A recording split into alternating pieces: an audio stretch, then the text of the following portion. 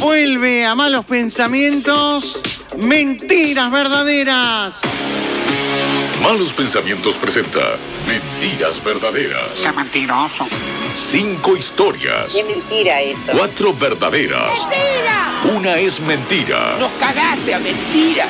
Una sección donde la realidad supera la ficción. Es una cosa de loco, no lo podemos creer. Una sección donde las mentiras tienen patas cortas. Las mentiras tienen patas cortas.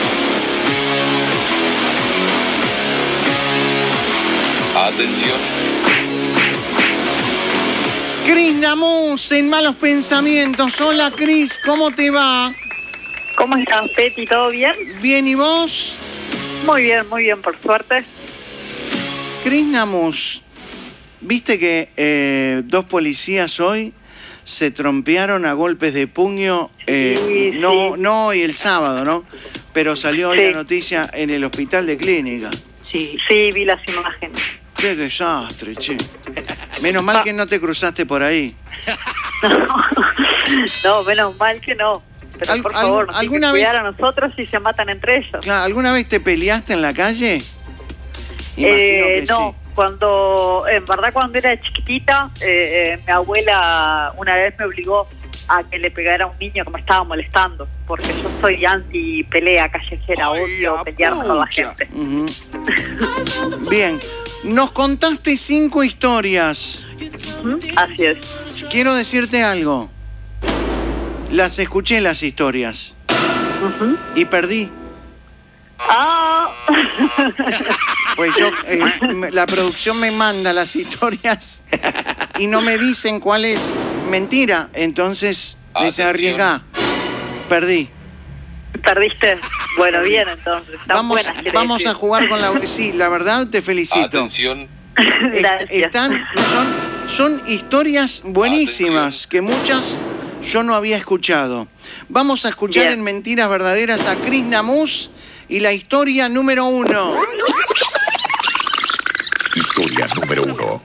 A mi mejor amigo lo conocí dándole una paliza. Éramos chicos, yo andaba en patines acá en la cuadra de mi casa, él vivía casa por medio de la mía y en la puerta de su casa había un auto estacionado que era como una cachila. Yo con los patines hacia ahí y cuando llegaba me apoyaba en el auto para darme vuelta y venir de nuevo hacia mi casa porque bueno, estaba recién aprendiendo a andar en patines. A la segunda o tercera vez que llegué hasta el auto salió él y me dijo, ¿qué tocaste el auto? No lo toques más. Obviamente no me cayó bien su forma, volví a casa, me saqué los patines y salí a, a correrlo. lo corrí, lo alcancé a la esquina y bueno, y le di una paliza, le pegué y después de eso nos hicimos amigos y hoy en día puedo decir que es mi mejor amigo de hace muchísimos años. Mentiras verdaderas.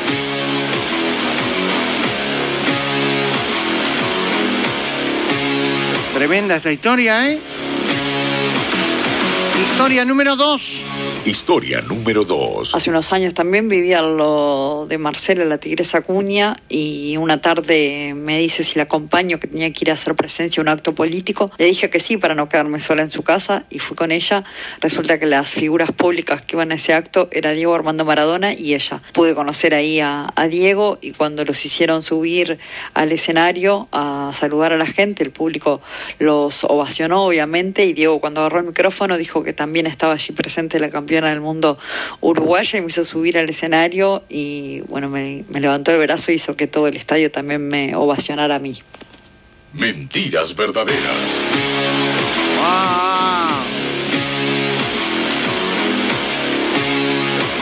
Atención. bueno. Historia número tres. Historia número tres. Estuve viajando mucho tiempo con un pasaporte que decía que yo era de sexo masculino. Yo había notado que me paraban en muchos control de migraciones y control de pasaporte, que era la única persona que le hacían muchísimas preguntas, un interrogatorio bastante largo y veía que las demás personas seguían de largo y no entendía por qué hasta que, bueno, un, justamente un policía de, de aduana en Argentina se dignó a decirme de que me estaba haciendo muchas preguntas para ver si para escuchar mi voz y para mirarme la nuez, porque suponía que era un error del pasaporte y no era que yo fuera un hombre, así que me avisó y bueno, y ahí pude hacer el trámite para cambiar el sexo. Mentiras verdaderas.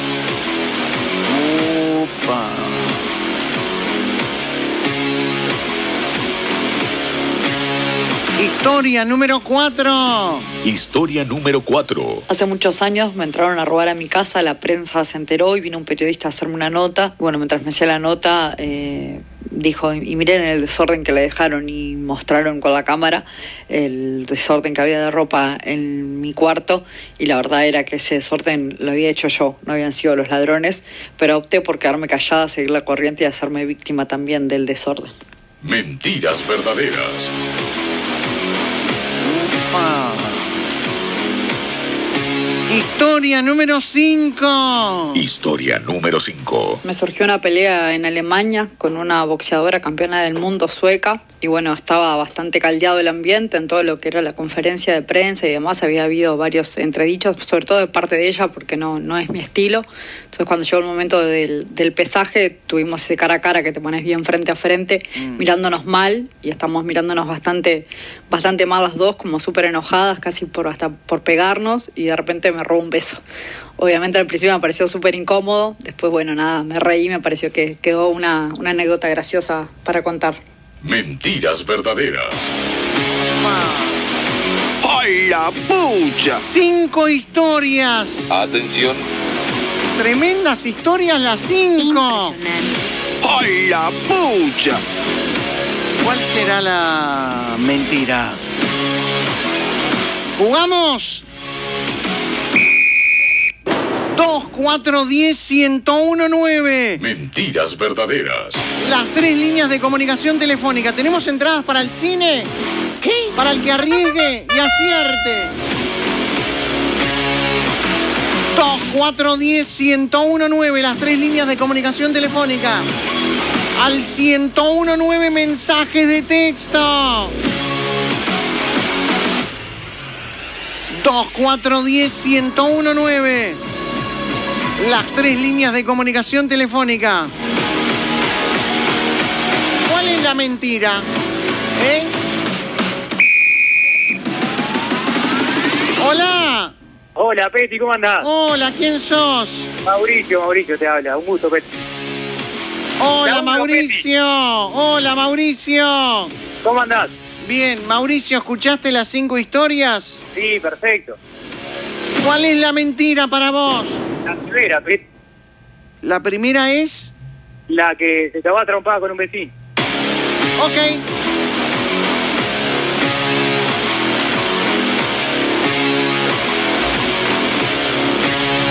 Ahí viene otro. Hola. ¿Cómo estamos, Peti? Hola, ¿quién sos? Diego acá, de Salinas. ¿Cómo estás, Diego? Bienvenido. Gracias. Diego, ¿escuchaste las cinco historias? Sí, bien, de bien. ¿Cuál es la mentira? La tres, claramente. ¿La del pasaporte masculino? Sí. Ok. ¡Pucha!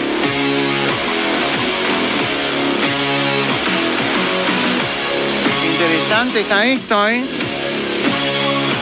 2, 4, 10, 101, 9. Mentiras verdaderas.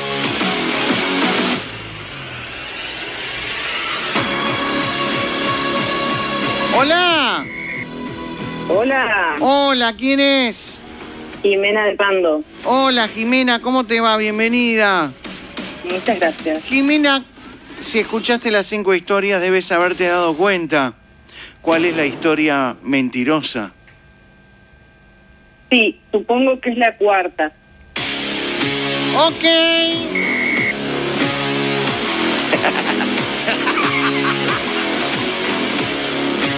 Hola. ¿Quién es? Andrés te habla, ¿cómo andás? Hola Andrés, ¿cómo estás? ¿Todo bien, vos? Bien. Andrés, ¿escuchaste las cinco historias de Chris Namus? Ah, Para mí, la del pasaporte. La ¡Ay, 3. pucha! Sí. Muy bien. ¡Ay, la pucha! Mentiras verdaderas. Hola. Hola, Peti. Hola, ¿quién sos?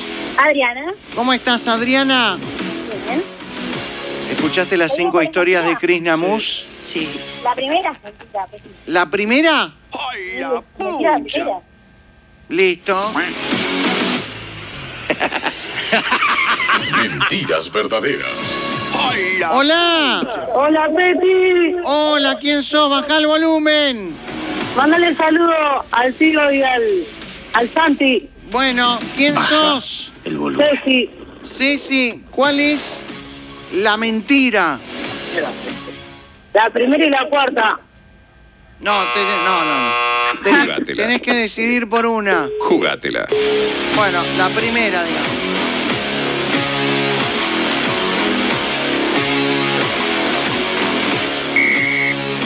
Hola.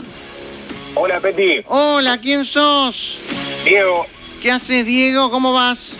Todo bien, todo bien. ¿Escuchaste las historias de Chris Namus?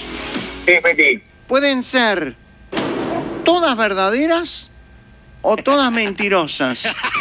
Porque están, están bien, tan bien contadas Sí. y son, tan insólitas que puedes decir, no, esto no le debe haber pasado. ¿Cuál crees vos que es la historia mentirosa? Eh, la que la buscadora que mandan le roba un beso en el pesazo. La quinta. La quinta. Muy bien.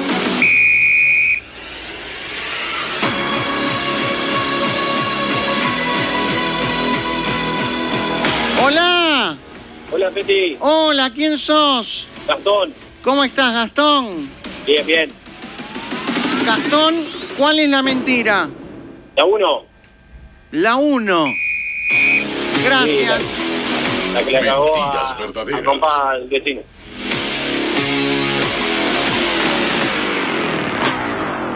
Hola, Cris Namus, ¿cómo te va? ¿Escuchaste a la audiencia? Sí. Hola, Cris. Hola. Hola, ¿escuchaste a la audiencia? No, no pude Oh, escuchar no nada. pudiste escucharla porque estabas en interno. Exacto. Bueno, te cuento. Contame. De las cinco historias, uno, Sí. dos, tres y cuatro personas, Sí. no, no digas nada todavía, ¿eh? Cuatro personas votaron que la mentira es la que le diste la paliza a un amigo. Ok. Bien. Después, Diego y Andrés, dos, creyeron que la mentira era el pasaporte masculino. Ok.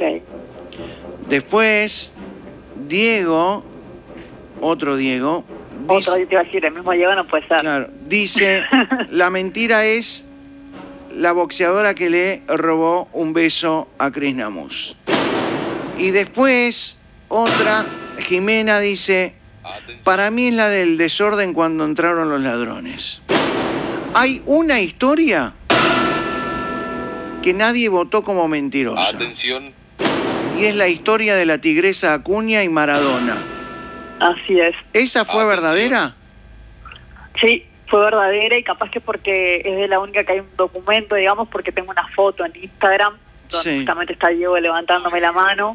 Creo que una página que sube fotos de momentos de gente que comparte momentos con Diego eh, sacó esa foto de mi perfil, supongo, y lo compartió en esta página que también la hacía muchísima gente, así que como que calculo que es un poco pública, entonces eh, puede ser que sea la que nadie desconfió de esa porque hay documentación, digamos.